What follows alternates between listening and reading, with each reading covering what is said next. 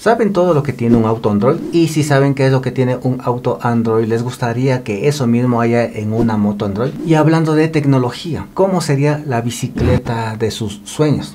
Con llantas montañeras, bien pero bien gruesas, una batería bien, pero bien gruesa, pero de larga duración, y un panel de instrumentos que nos vaya informando todo lo que estamos haciendo. Saben, no es un sueño. A continuación les voy a mostrar cómo adquirir una de estas magníficas bicicletas, que puede parecer un sueño, pero es una completa realidad.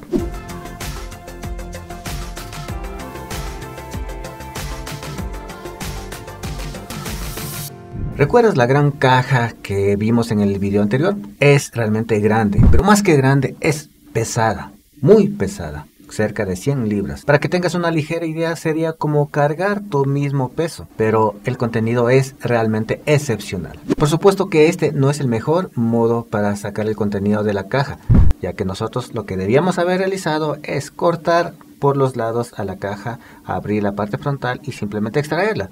No lo hice porque tengo espacio reducido allí, como lo podrán ver, y también porque quise probar esa alternativa, a ver qué tan difícil me resultaba. Ya viendo un poco más de cerca todo esto, vamos a notar la presencia de una gran cantidad de esponjas, esponjas por doquier. ¿Para qué? Simplemente para evitar que existan abolladuras, rayaduras, esto en movimientos accidentales, en importación y todo. La firma quiere que recibas el producto 100% nuevo. Aquella cajita que están viendo en el suelo contiene a la batería y unas cuantas herramientas que ya se los mostraré que nos sirven a nosotros para ensamblar cada una de las partes y piezas. Y como diría alguien por allí, manos a la obra. Perdón, manos a la obra. ¿Qué es lo que vamos a hacer? Bueno, no quise desaprovechar para tocar el pequeño guardafango posterior. Es realmente maravilloso ver algo que viene completamente nuevo y en un viaje tan pero tan largo que no se haya fracturado ni quebrado. La llanta es una de las más gruesas que ustedes puedan imaginar. Es montañera. Va a por cualquier camino que ustedes deseen. De allí nosotros tenemos que sacar cada una de las esponjas, hay una gran cantidad de ellas en los fierros, bueno, en los tubos, cubriendo los volantes, la llanta mismo, los pedales y todo. La vía más fácil es con una tijerita cortarlos y listo, pero yo quiero mantener esas tiras de seguridad intactas podría comprarlas en mi país. No deben costar más allá de unos cuantos centavos, pero de todos modos yo quiero mantenerlas intactas. ¿Para qué? Lo van a ver en otro video en mi canal Rodrivan y en este momento están viendo justamente el volante. Es realmente excepcional.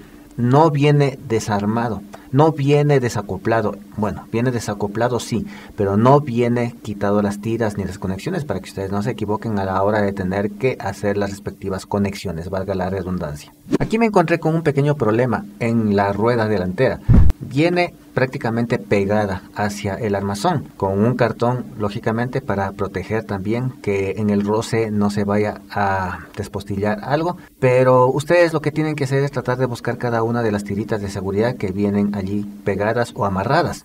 Hay algunas. Por favor no vayan a tirar o alar a la fuerza a la llanta porque pueden hacer que se rompa uno de los radios con paciencia, por favor, busquen cada una de esas tiritas y luego de unos cuantos momentos verán que la llanta sale, con todo y cartón, pero sale.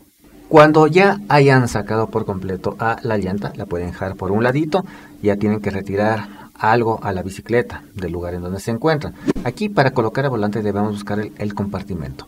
Es algo pequeño. Sacamos las tuerquitas, quitamos la tapa posterior del compartimento, colocamos el volante y empezamos a ajustar. Tienen que tratar de hacerlo en la posición correcta, por favor. No invertido, sino en la posición correcta. ¿Cómo se dan cuenta de ello? Simplemente que si lo colocan en la posición invertida van a ver que los cables se van a cruzar por lados que tal vez queden muy ajustados o muy estirados. Entonces tienen que ver la posición correcta. También ustedes podrán darse cuenta que el pequeño panel es retráctil, es decir, que se mueve para arriba para abajo, lo cual nos ayudará a nosotros a tener una mejor visibilidad de lo que allí se muestre posteriormente. También tienen que darse cuenta ustedes en el mango principal. Normalmente esto viene fijo, pero si es que viene algo flojo, traten de ajustar con la bicicleta dejando que esté en posición de 90 grados y luego al mango lo ajustan con los otros tornillos que están allí, a un ladito. Por favor, ajusten bien los tornillos. No pueden quedar flojos. Bueno, ajusten hasta donde dé. Tampoco van a ir a forzar los tornillos con el hexagonal que viene como herramienta incluida dentro de la cajita, porque también podrían ustedes aislar la rosca hasta la medida que se dé, pero que estén bien ajustados. Porque si lo dejan medio flojos, cuando ustedes vayan corriendo, recuerden que es una montañera, en pisos o en terrenos agrestes, podría moverse mucho, se sale y ustedes van a sufrir un accidente. Por favor, mucho ojo con ello. Y ahora por fin viene la llanta delantera la que tenemos que colocar en el respectivo espacio. Ustedes verán que en este momento me encuentro retirando el cartón. El cartón sirve muchísimo y es una gran cosa que nosotros debemos felicitar al vendedor, al fabricante, porque mira él todo lo que debe de poner allí para que no exista ningún tipo de percance, ningún tipo de abolladura una vez que llegue la bicicleta a nuestro destino. De los dos lados tenemos dos plásticos. Del un lado es simplemente un plastiquito pequeñito que solamente tenemos que tirar y listo. Del otro lado de la rueda van a encontrar una cosa como esta. Es simplemente un cobertor. Tengan mucho cuidado por favor, porque aquí dentro está la tuerca que hace falta. En un inicio debo de comentarles y serles sincero a ustedes que pensé que se había extraviado esa tuerca, porque no la encontraba. Y no, en realidad viene aquí. Nosotros lo único que tenemos que hacer es extraer, sacar la tuerquita y tenerla guardada para luego, para cuando vayamos a colocar la llanta en el respectivo espacio, en la parte delantera. Y aquí viene prácticamente la parte más difícil desde mi punto de vista. El mismo problema me encontré con el modelo anterior, en donde yo no sabía cómo colocar la llanta, porque en ese modelo la DYUC1 tiene un pequeño gancho que nosotros teníamos que colocar. Es un poquito difícil, pero si es que ustedes no saben cómo hacerlo, por favor escriban por Instagram o al correo de la tienda preguntándoles sobre más indicaciones de cómo realizar esta conexión. Bueno, aquí no es tan difícil como en ese modelo.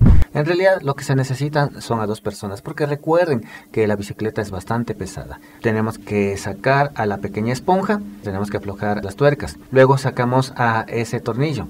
Lo mantenemos con el pie y hacemos para arriba la bicicleta y saldrá fácilmente. A la hora de colocar la llanta viene el pequeño problema, porque como les mencioné, esto hay que realizarlo entre dos personas, así que por favor tengan mucho cuidado porque si van a hacerlo estos solos, se les va a caer y se les va a estropear algo. Un pequeño tip que debo mencionarles en este momento, a pesar que en otro video les mencionaré estos tips para no cometer dichos errores, es de que las rodelas no tienen que estar para adentro, sino para afuera. Porque si ustedes dejan las rodelas para adentro, los brazos no van a poder abrirse como para poder engancharse.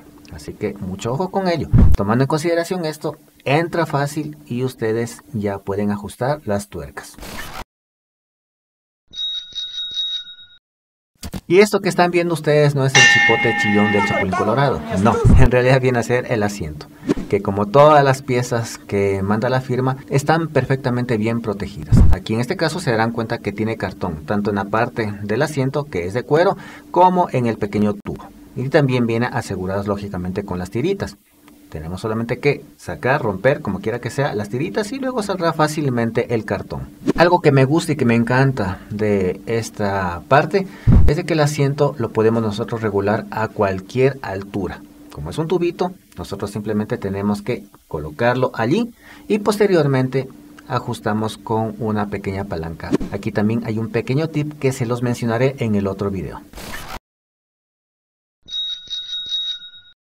Prácticamente está armada nuestra bicicleta, pero faltan otros cuantos accesorios más a instalar. Por ejemplo, la pequeña pata, algunos le dicen pata de cabra, yo solamente digo pata de bicicleta, aquella que nosotros tenemos que bajar para que se quede parada cuando nosotros tal vez la dejemos unos segundos sola. La forma de colocarla es bastante simple. Aquí también vienen los tornillos en los respectivos agujeros. Como se darán cuenta, la pata o pata de cabra tiene una rosca y por eso vienen los tornillos perfectamente bien ajustados. Eso quiere decir que nosotros al sacar o retirar los tornillos tenemos que colocar a esta pata por la parte posterior de la pequeña platina. Solamente de esa manera quedará ajustada. Y los pedales que tienen un diseño especial o excepcional. Tenemos que agradecer también a la firma de You porque vienen perfectamente bien etiquetados. El derecho es right en inglés e irá hacia el lado derecho. El izquierdo, lógicamente, es al lado izquierdo y viene con la letra L.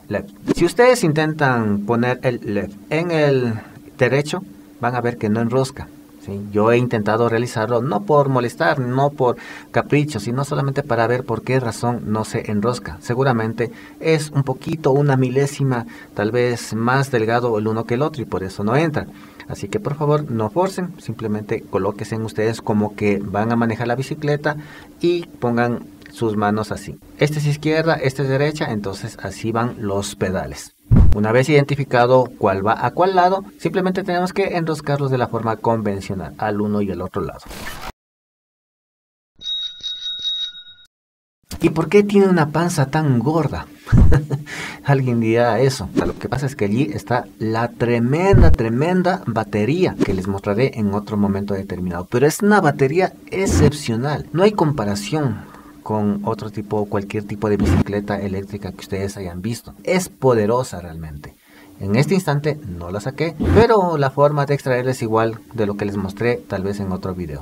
En el próximo les indicaré qué es lo que tiene y cómo es lo que tenemos que sacar y cómo es lo que tenemos que colocarlo.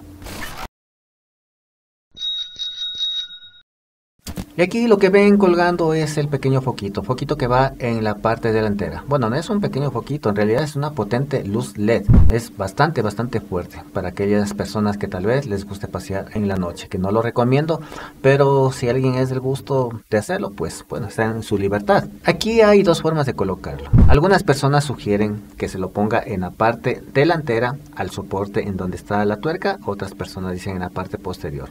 En realidad ustedes no tienen que apresurarse a colocar primero la luz. Tienen que buscar entre los accesorios que vienen en la caja al guardafango delantero, que viene con unas tiritas. Esas tiritas van a unos tornillos que están en los brazos. Y la otra parte de arriba, que tiene también un pequeño gancho, va hacia el tornillo en donde también va el foquito. Yo aproveché la parte posterior para conectar el foco. Es decir, en la parte posterior saco la tuerca, pongo el foquito, pongo la rodela del guardafango y luego lo ajusto. Yo creo que esa fue la posición correcta. Si me equivoco, me gustaría que me lo digan para corregir esa parte que quizá la desconocía. Y como podrán ver ustedes aquí, mi gran bicicleta ya está completamente armada y ensamblada. ¿Por qué hice este video aquí en el canal? Porque yo hablo no solamente de Android aquí, hablo en general de tecnología. Y esta bicicleta, créanme ustedes que tiene la mejor de las tecnologías. Algo que nadie, nadie ha pensado en las bicicletas. O bueno, que quizás lo pensaron, pero lo pensaron mal. He visto una gran cantidad de modelos en el mercado que son irrisorios. La verdad es de que podrían pasar como imitaciones baratas a lo que hace You. A mí me fascina esto. Esta bicicleta es como tener prácticamente una moto, una moto eléctrica, pero poderosa. No se pierdan el otro video, mis queridos amigos, que les mostraré a ustedes unas cuantas cosillas que quizá les vaya a fascinar más aún de esta DU King 750, que es la mejor, para mí, la mejor que pudo haber presentado la firma en el 2024. Nos vemos en la próxima.